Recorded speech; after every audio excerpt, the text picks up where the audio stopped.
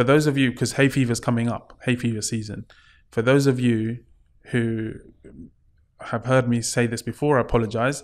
But for those who haven't, I'm so allergic to pollen. I've got what, like one of the highest allergy counts when it comes to to being allergic to pollen. And when I get when the hay fever season comes, many years ago, I used to hide. Not that long ago, actually, I used to literally hide.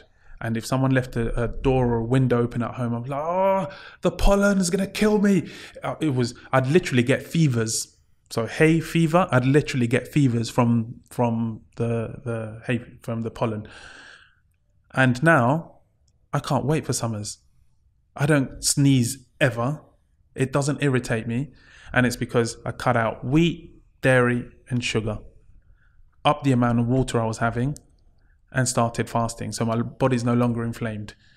And ha- my toxic count is very low, so it can handle pollen. But when your toxic count is very high, from brushing your teeth with uh, fluoridated toothpaste, and you wear clothes that are washed in detergents which have chemicals and then those chemicals don't all get washed out they remain on the clothes then you wear those clothes for 8 hours 10 hours a day it goes through your skin and that also adds to your toxic load lead pollution from cars. I mean you name it there's so much toxicity.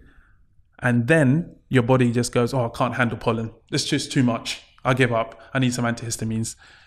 And uh, we, we that's another conversation but basically water helps to get rid of as much toxicity from your body. If you're well hydrated because you lose about two and a half liters you lose about a liter and a half during the night when you're sleeping through respiration and perspiration and you lose another liter throughout the day when it's not that hot so you're losing about two and a half liters of water a day and it's not enough to have coffee actually for every uh, 100 mLs of coffee that you have, you need about 300 to counteract the effect of dehydration. So I'm fully aware of that. So whenever I do have a coffee, because I like the taste of coffee, um, I make sure that I drink extra water so I don't dehydrate myself.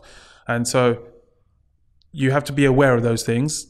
Um, and and then you're going to be fine. So now I'm aware I don't have wheat, dairy, sugar. I increase my water. I sleep uh, as much as I can, and um, then my body pays me back by being able to live a great day every day.